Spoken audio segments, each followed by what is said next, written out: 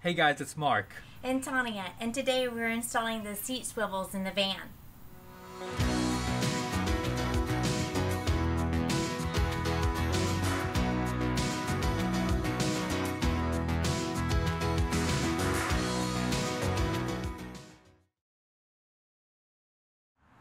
So we decided to go with the Scopema seat swivels. We got these from the swivel shop in Oregon and they were awesome to work with.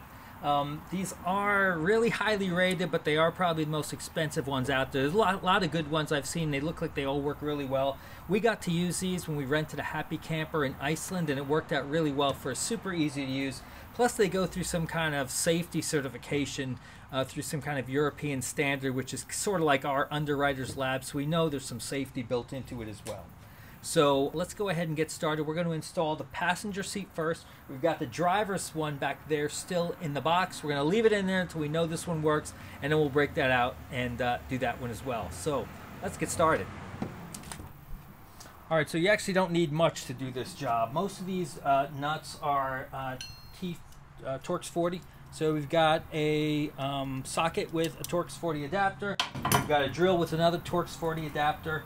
Uh, it comes with a couple different things. So it comes with obviously the sweet seat swivel, and uh, then it comes with spacers. These are only needed on the Ram ProMaster, and I heard actually you don't need these. There's a little piece of the seatbelt adapter underneath that if you cut that loose, you can actually install without these. So we'll look at that later, but I think we're going to try with them. And if it ends up being too high, we'll just take it out and cut that seat belt adapter and go ahead and put it back in. There's a bunch of links online for how to how to do that. Also comes with a couple sets of screws, long and short. Uh, the long ones go in the bottom between the swivel and the base. The short ones go between the uh, swivel and the seat. So that's all we need.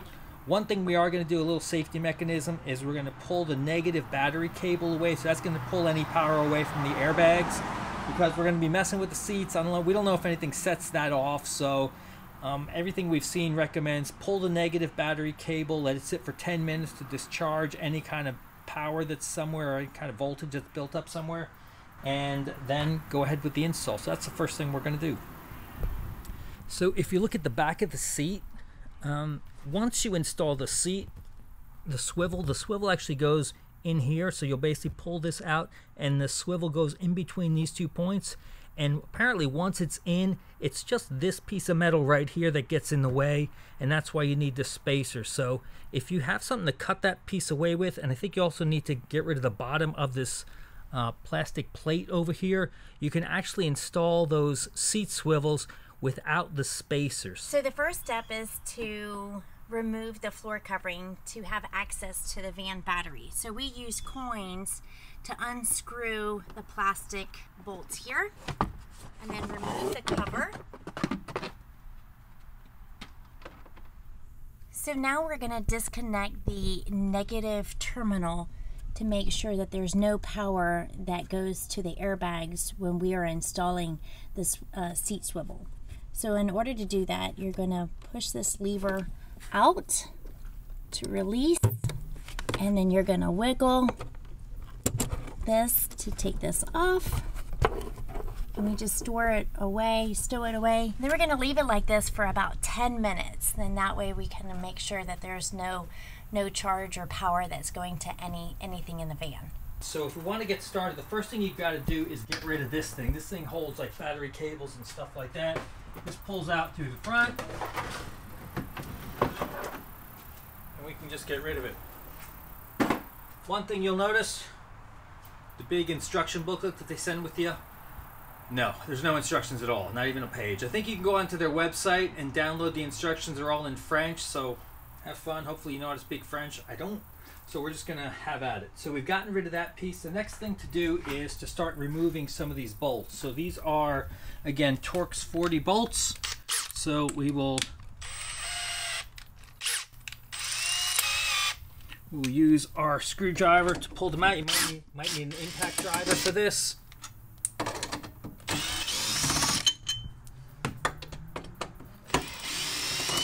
Obviously the seat is pulled all the way forward for this. Bolts are out. Now what we'll do is we'll move the seat all the way back and we'll lift out the last two bolts.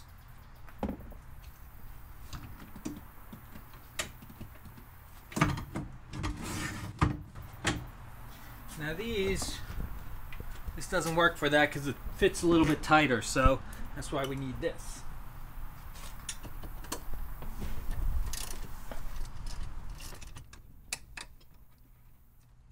Okay, so now that we have taken all the bolts out, the six bolts out, what we've got to do is disconnect some of these wires. So you're going to find three sets of wires under here. There is an orange one, there is a yellow, and um, there is a black. So these things are kind of zip tied down here. So we're going to have to pull these out, and then we're going to have to separate them. So there is a little connector that is impossible to see from here that is used to disconnect the wires. Let's see how to do this.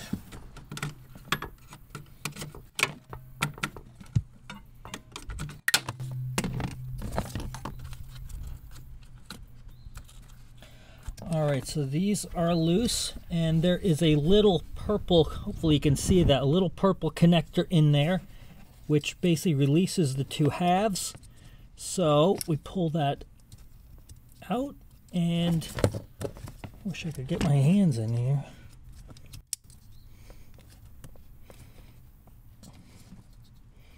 This is another thing that looks much easier in all the videos until you try to do it yourself. All right, that one's loose. Again, pull the purple connect the purple lock. That one comes loose and all that's left is this one. This is probably the one that if you touch the wrong way, the airbag explodes on you, so just kidding. Uh, all right, so, oh, so this one actually disconnects from here. I actually thought it disconnected from back here, but it's actually disconnected from here. So all three of those are actually ours. Zip, ours weren't zip tied at all. The zip ties are completely loose. So these are free. Alright, so we can now at this point take the seat off.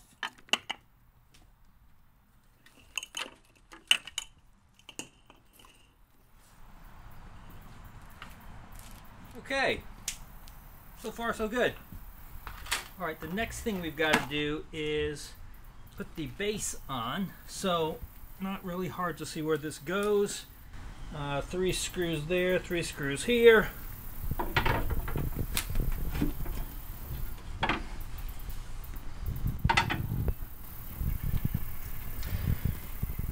This is funny. In our van in Iceland, this was actually on the inside. Uh, but here it's on the outside. Okay, long screws are the ones that go in first.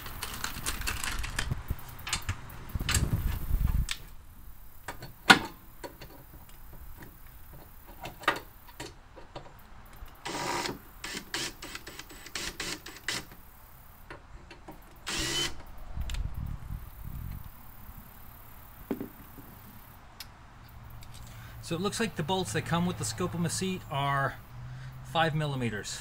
Um, that seems to fit perfectly here. I thought these were actually Torx bits, but they're not. So Torx screws, but they're not. So okay, so one little change of plans. Using this sucks. So I went to the store and I found a what is this? It's not metric, so it's a little smaller than it needs to be, but I think it'll work to tighten all these bolts. That'll make life a lot easier. So we're going to try it. Much better.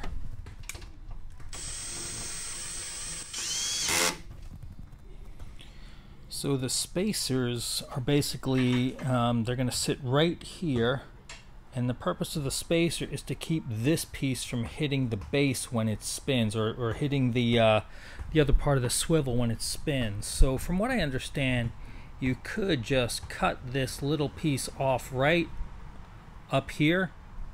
So basically cut cut it as short as this black piece behind it and it will clear the seat. I think also you have to um, cut the bottom of this plastic piece off, but I don't think that's too much of a problem. So I'm debating I can either do that or I can use the spacers. The spacers, the problem is, man, they seem to add a lot of height. Um, so let me see how I can cut this. There's probably a better way of doing. There's probably a better way of doing this than with an old hacksaw, but It's working. It's just taking forever. Well, it's off. Took about half hour of sawing and then I just started to bend it and it finally broke off. So you see this is where it was.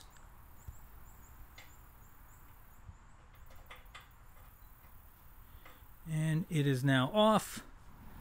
So the next step now that we've cut this piece is to get this on top of the swivel. So what I'm going to do is I'm going to take these wires, and I know they're going to cause me problems, so I'm going to stuff them in here to hold them. And then I will lift the seat and guide these through the hole, line it up, and start um, screwing it down. Now these, just so you know, these these rails, the um, these move independently. So what I've done is I pushed this bar up to loosen the rails, and I've pushed both rails all the way back. So that'll expose the back two screws. So once I put it on, I can put these two back screws on and then I can move it back and get the forward ones. Okay, so I have the seat back on top of the swivel and I've lined up the four back holes, two there and two there. We're gonna screw them in and then pull it back and move to the front screws.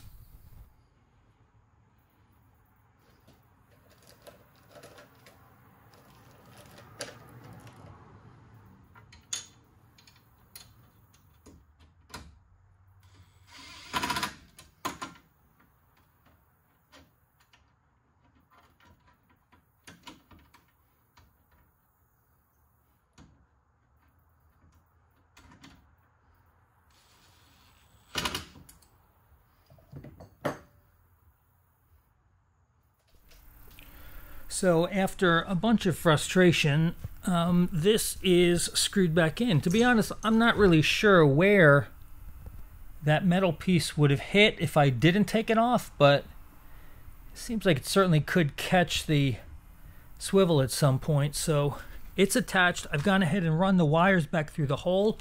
I'm going to reattach the plastic plate and see if that hits anywhere and see if that needs to come off. So the seat is back together and it does spin.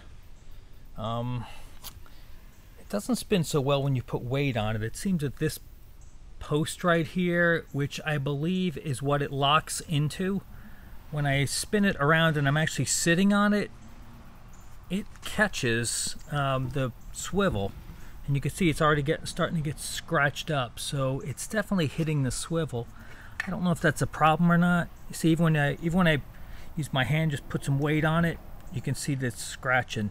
Um, the other problem, and this could be an issue, I saw a reference online to some washers that were needed. When you didn't use the spacers, you needed some washers, and I wasn't sure what that was all about. But now, when I look here, it's hard to see. Let's see if I could zoom in. So this middle post here is part of the swivel, adapt swivel um, adapter and that passes through a hole. It passes through that middle where are we going? Passes through that middle hole in the um, spacer but when you're not using the spacer it's just sort of sitting there so that I can't really tighten the other two screws around it. So it's flat here on this end. Notice there's no space here, it's really hard to see that, I'm sorry. Hard to see, but there's two plates are together here, but here there is some space between them. So what I'm gonna do is I'm gonna loosen this, I'm gonna take the seat off again, and I'm gonna put the washers in here to account for that space. I'll also put them there so that the seat is sitting flush on the entire adapter, and I'll see if that helps it uh, spin a little better. I went to Home Depot and bought how many of these? Six, twelve of these things. I don't know what they're what size they are, but they're labeled ABB. And I went ahead, I uninstalled the, the seat, and I stuck them here, here, and in the front. So now it's it sits uh, flat, and it doesn't bind up on that little post under the seat that little metal post there. Also, I took that metal, I'm sorry, I took the plastic piece and I cut the bottom of it off. so that now I can put it here and the seat should swivel properly. The seat is actually in and it is spinning and not hitting anything. I did have to cut the bottom of this off like I showed you. And that saved me probably most of this. A little bit was taken up with washers, but it saved me most of that width in the height of the seat. So now I'm going to, I'm actually going to go back to the store and get a something to wrap around these so it doesn't bind in that hole and then I'll go ahead and reattach these some kind of little um, flexible conduit and then I will get to that seat to make it a little more clear what's got to be done I figured I'd show you on the driver's seat which is off so this is the piece right here that needs to be cut so basically if we cut right around there and remove this bottom piece, that takes care of the one obstruction. The other thing is this post right here. So uh, if you use the spacer, this will go into one of the holes of the spacer. If you don't use the spacer, you've got to use a couple of washers. You can't see that. You've got to use a couple of washers that are at least that height. Where is that? There it is. You've got to use a couple of washers or at least the height of that post and they will go on top of the screws. So you'll actually need um, one, two, three, four, five, six. You'll actually need 12 of these washers. I use the ABB from Home Depot and it seems to work. So two of those stacked together on each screw will clear the height of this post. You don't have a post here, but you obviously need this, the washers to make it all level. So that's the two things that have to be done to modify. There's actually three. Three things have to be done to modify this so that you don't have to use those spacers. One is the washers, two is cutting this piece off, and three is trimming the bottom off of this plate, which you can easily do with a hacksaw or a coping saw. It's actually pretty easy. So both swivels are in. So now the last thing I'm going to do is I went and bought this split uh, tubing, the split conduit, I guess you'd call it, from the store. I'm going to wrap these wires in it because I don't want them to pinch in the hole when it's turning. I will zip tie them up. I'll reconnect the connectors and then I will get to the battery.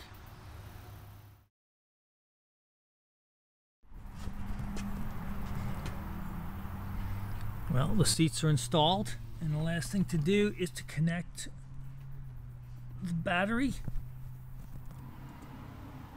Okay, the battery is reconnected.